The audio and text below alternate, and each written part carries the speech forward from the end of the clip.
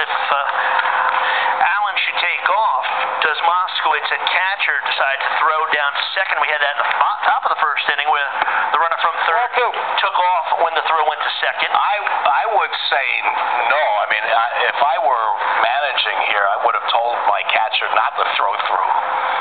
Um, unless you've got a shortstop with a cannon of an arm who's going to cover and make the return throw, that run is going to score unless they throw the guy out. Pitch hit Diving first baseman. One run will score. On his way to third is Allen. The throw not in time, and good base running by Bonilla. He'll take second on the throw, an RBI single, and it's two to one. The West All Stars.